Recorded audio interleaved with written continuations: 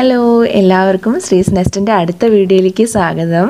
ഇന്നൊരു cooking video ചെയ്യാമെന്ന് വെക്കുന്നു കഴിഞ്ഞ കുറച്ച് ദിവസമായിട്ട് നമ്മൾ പാട്ടിലായിരുന്നു അപ്പോൾ ഇന്നൊരു വെറൈറ്റി എഗ് എങ്ങനെ തയ്യാറാക്കുന്നതെന്ന് നോക്കാം. എന്റേതായിട്ടുള്ള തന്നെ പരീക്ഷണമാണ്. വീഡിയോയിലേക്ക് പോകുന്നതിന് മുമ്പ് ചാനൽ ഇതുവരെ സബ്സ്ക്രൈബ് ചെയ്യാത്തവർ സബ്സ്ക്രൈബ് ചെയ്യുക. ബെൽ ബട്ടൺ മറക്കാതെ അമർത്തുക. ഓൾ എന്നുള്ള ഓപ്ഷൻ തന്നെ കൊടുക്കുക. വീഡിയോ ഇഷ്ടപ്പെട്ടാൽ ലൈക്ക് ചെയ്യുക. എല്ലാവരും ട്രൈ ചെയ്ത് നോക്കുക. അപ്പോൾ നമുക്കിത് എങ്ങനെയാണ് തയ്യാറാക്കുന്നതെന്ന് എളുപ്പം നോക്കാം. അതിനായിട്ട് ഞാനിവിടെ മൂന്ന് മുട്ട പുഴുങ്ങി എടുത്തിട്ടുണ്ട്. പിന്നെ പാലാണ് തേങ്ങാപ്പാലാണെങ്കിൽ അരമുറി തേങ്ങയുടെ പാൽ ഞാനിവിടെ മാഗി കോക്കനട്ട് മിക്സ് പൗഡറാണ് എടുത്തിരിക്കുന്നത് അത് ഒരു ഗ്ലാസ് ഉണ്ട്.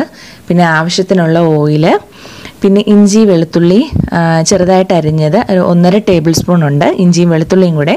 പിന്നെ ഒരു പച്ചമുളക് എടുത്തിട്ടുള്ളൂ. എരിവിനനുസരിച്ച് കൂട്ടുകയോ കുറയ്ക്കുകയോ ചെയ്യാം. കറിവേപ്പില രണ്ട് ഏലക്ക എടുത്തിട്ടുണ്ട്. ബേ ലീഫ് മൂന്ന് ഗ്രാമ്പൂ ഈ വലുപ്പമുള്ള ഒരു കഷ്ണം പട്ട പിന്നെ വേണ്ടത് ഗരം മസാലയാണ് മേടിച്ച ഗരം മസാലയാണ്. പെരിഞ്ചീരകപ്പൊടി അര ടീസ്പൂൺ നമ്മുടെ മസാല ഒരു ടീസ്പൂൺ ഉണ്ട്. പിന്നെ വേണ്ടത് കുരുമുളക് പൊടിയാണ് അത് രണ്ടര ടേ ടീസ്പൂൺ ഉണ്ട്. പിന്നെ വേണ്ടത് ഇത് പൊടിച്ച മസാലയാണ് ഞാനതൊരു അര ടീസ്പൂൺ എടുത്തിട്ടുണ്ട്. അതില്ലെങ്കിലും കുഴപ്പമില്ല അതിനനുസരിച്ച് മറ്റ് മസാലയുടെ അളവ് കൂട്ടി കൊടുക്കുക പിന്നെ എടുത്തിട്ടുള്ളത് മൂന്ന് മീഡിയം സൈസ് സവാള ഇങ്ങനെ ചെറുതായിട്ട് നുറുക്കിയിട്ടുള്ളതാണ് അതിനായിട്ട് ഒരു പാൻ അടുപ്പത്ത് വയ്ക്കുക ആവശ്യത്തിനുള്ള ഓയിൽ ഒഴിച്ചു കൊടുക്കുക.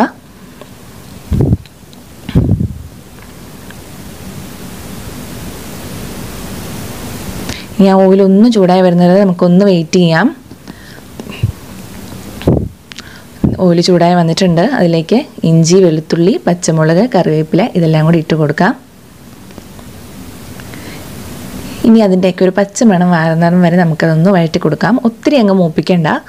കുറുമയല്ലേ? അപ്പോൾ അത് ഇച്ചിരി പച്ചയോട് തന്നെ കിടക്കുന്നതാണ് അതിന്റെ ഒരു സ്വാദ്. ഇപ്പം ഈ ഒരു പരുവത്തിൽ വന്നിട്ടുണ്ട്.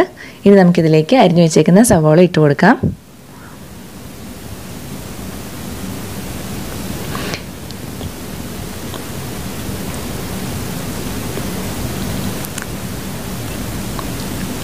നന്നായിട്ട് ഇത് മിക്സ് ചെയ്ത് കൊടുക്കുക. ചെറുതായിട്ടൊന്ന് വഴന്ന് വരട്ടെ. ഇപ്പോൾ നമ്മുടെ സവാള ഈ ഒരു പരുവത്തിൽ വഴന്ന് വന്നിട്ടുണ്ട്. ഇനി നമുക്ക് ആവശ്യത്തിനുള്ള ഉപ്പ് ഇതിലേക്ക് ചേർത്ത് കൊടുക്കാം. ഞാനിപ്പോൾ ഇവിടെ ഒരു മുക്കാൽ ടീസ്പൂണോളം ഉപ്പ് ഇപ്പോൾ ചേർക്കുന്നുണ്ട്. പിന്നെ നമുക്ക് ലാസ്റ്റ് നോക്കിയിട്ട് ആവശ്യത്തിന് വേണമെങ്കിൽ ഒന്നുകൂടെ ചേർത്ത് കൊടുക്കാം.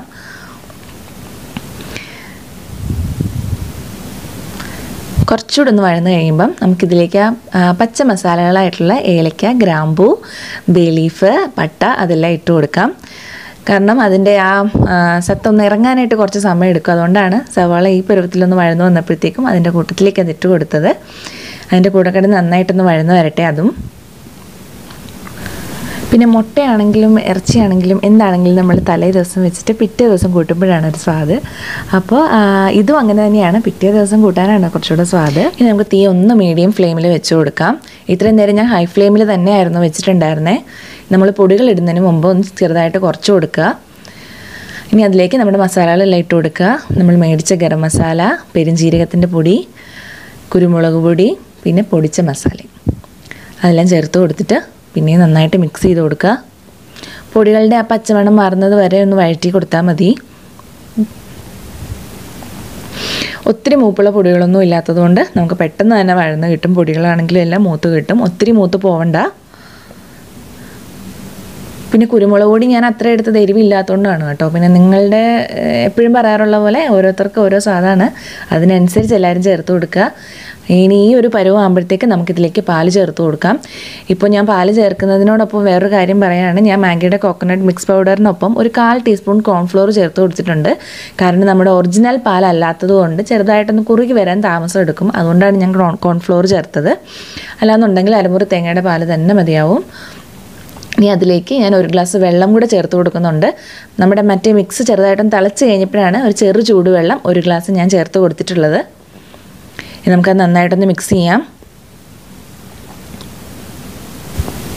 ഇനി ഇത് ഇതൊന്ന് ചെറുതായിട്ട് തിളയ്ക്കുമ്പോഴത്തേക്ക് നമുക്കതിലേക്ക് പുഴുങ്ങിയ മുട്ട ഇട്ട് കൊടുക്കാം. ഇതിടുമ്പോൾ വേറൊരു കാര്യം പറയട്ടെ. നമ്മുടെ ഈ മുട്ട ഇങ്ങനെ ചേർക്കുന്നതിലും സ്വാദ് കുറച്ച് വെളിച്ചെണ്ണ ഒഴിച്ച് അതിലേക്ക് ലേശം മഞ്ഞൾപ്പൊടി ഉപ്പ് കുരുമുളക് പൊടി ഇട്ടിട്ട് ഇളക്കി അതിലിട്ടൊന്ന് ചെറുതായിട്ട് ഫ്രൈ ചെയ്ത് ചേർക്കാമെങ്കിൽ ഒന്നുകൂടെ സ്വാദായിരിക്കും. ഇനി ഇതിലേക്ക് നമുക്ക് അരിഞ്ഞു വെച്ചിരിക്കുന്ന മല്ലിയിലയും കറിവേപ്പിലയും ഇട്ട് കൊടുക്കാം. മല്ലിയില ഇല്ലെങ്കിലും കുഴപ്പമില്ല കേട്ടോ. കറിവേപ്പില മാത്രം ഉള്ളെങ്കിൽ കറിവേപ്പില ആണെങ്കിലും ചേർത്ത് കൊടുത്താൽ മതി. മല്ലിയില എന്തെങ്കിലും ഉണ്ടായിരുന്നു. അതുകൊണ്ട് ഞാൻ ചേർത്തുന്നേ ഉള്ളൂ. ചേർത്താൽ കുറച്ചുകൂടെ സാധാണ്. അതുകൊണ്ടാണ് നമുക്കിത് അടച്ച് വെച്ച് ഒരു പത്ത് മിനിറ്റ് നമുക്ക് തിളപ്പിക്കാം.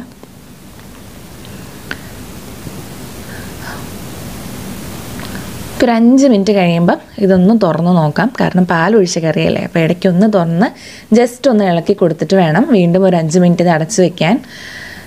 ഞാൻ ഇരുന്ന മുട്ട കുറച്ച് ഇരുന്ന് ഇരുന്ന മുട്ടയായിരുന്നു അപ്പോൾ അതുകൊണ്ടാണ് അതിങ്ങനെ പൊട്ടിപ്പോയത്. ഫ്രൈ ചെയ്ത് തിരക്കുകയാണെങ്കിൽ ഈ ഒരു കുഴപ്പങ്ങളൊന്നും ഉണ്ടാവില്ല. അടച്ചു വെച്ച് നമുക്കിനി ഒരു അഞ്ച് മിനിറ്റ് കഴിഞ്ഞിട്ട് തുറന്ന് നോക്കാം. അപ്പോൾ ഇത് ഇവിടെ പത്ത് മിനിറ്റ് ആയിട്ടുണ്ട്. കരുതി ഈ പരുവത്തിൽ എത്തിയിട്ടുണ്ട്. ചെറുതായിട്ടൊന്ന് മിക്സ് ചെയ്ത് കൊടുക്കാം. ഇനി കറി അവിടെ ഇരുന്നൊന്നും തിളയ്ക്കട്ടെ തിളച്ച് നമുക്ക് ആവശ്യത്തിനുള്ള പരുവത്തിൽ ഒന്ന് കുറുക്കിയെടുക്കാം. പിന്നെ ഈ ഒരു സമയമാകുമ്പോഴത്തേക്ക് ഇതിന്റെ സ്വാദ് ഒന്ന് നോക്കുക കേട്ടോ. നമുക്ക് ആവശ്യത്തിന് ഓരോരുത്തർക്കും ഓരോ സ്വാദല്ലേ? അപ്പം നിങ്ങളുടെ ആവശ്യത്തിന് മസാലകൾ കൂടുതൽ വേണമെങ്കിൽ ചേർത്ത് കൊടുക്കാമല്ലോ ഉപ്പാണെങ്കിലും എന്താണെങ്കിലും ഈ സമയത്ത് നോക്കി ചേർക്കുക. അപ്പം ഞാൻ നോക്കിയപ്പോഴത്തേക്ക് എനിക്ക് ശകലം കൂടി ഉപ്പ് വേണം. അപ്പം ഞാൻ ദേ ഇവിടെ കുറച്ചുകൂടെ ഉപ്പ് ചേർക്കുകയാണ്. ഒരു കാൽ ടീസ്പൂൺ ഇല്ല അതിലും കുറച്ച് താഴെ. അത്ര ഉപ്പൂടെ നമുക്കിത് ചേർത്ത് കൊടുക്കാം. പിന്നെ ഈ മുട്ട ആരും അങ്ങനെ ആദ്യം ചേർത്ത് ഞാൻ കണ്ടിട്ടില്ല. പക്ഷേ എനിക്കിഷ്ടം ഇങ്ങനെ ചേർക്കുന്നതാണ്. നമ്മൾ ഇതിന്റെ കൂട്ടത്തിൽ കുറച്ചൊന്ന് തിളപ്പിക്കാമെങ്കിൽ അതിന്റെ ഒരു സ്വാദ് എനിക്ക് കൂടുതൽ തോന്നാറുണ്ട്. അവസാനം ചേർക്കുമ്പോൾ എനിക്ക് അത്ര സ്വാദ് ഫീൽ ചെയ്യാറില്ല. ഇപ്പോൾ നമ്മുടെ കറി ഈ ഒരു പരുവത്തിൽ എത്തിയിട്ടുണ്ട്. ഇനി ഒത്തിരി തിളപ്പിക്കേണ്ട. കാരണം പാൽ ചേർത്ത കറി ആയതുകൊണ്ട് നമ്മൾ വാങ്ങി വെച്ച് കഴിയുമ്പോഴത്തേക്ക് ഇരുന്ന് കുറുകും. അപ്പോൾ നമുക്ക് ഫ്ലെയിം ഓഫ് ചെയ്തിട്ട് പെട്ടെന്ന് നമുക്കിതൊരു ബൗളിലേക്ക് മാറ്റാം. അപ്പോൾ ദേ നമ്മുടെ ടേസ്റ്റ് കേക്കുറുമ ഇവിടെ റെഡി ആയിട്ടുണ്ട്. ഞാൻ ആദ്യമേ പറഞ്ഞു എന്റെ തന്നെ പരീക്ഷണമാണ്. നിങ്ങളും ഒന്ന് പരീക്ഷണം നോക്കാൻ ഉറപ്പായിട്ടും എല്ലാവർക്കും ഇഷ്ടപ്പെടും. അപ്പോൾ വീഡിയോ ഇഷ്ടമായാൽ ലൈക്ക് ചെയ്യാനും കമന്റ് ചെയ്യാനും മറക്കരുത്. കൂട്ടത്തിൽ പരീക്ഷ നോക്കാനും മറക്കരുത്. അടുത്തൊരു വീഡിയോ ആയിട്ട് നമുക്ക് വീണ്ടും കാണാം. അപ്പോൾ എല്ലാവരും സേഫായിട്ടിരിക്കുക ബൈ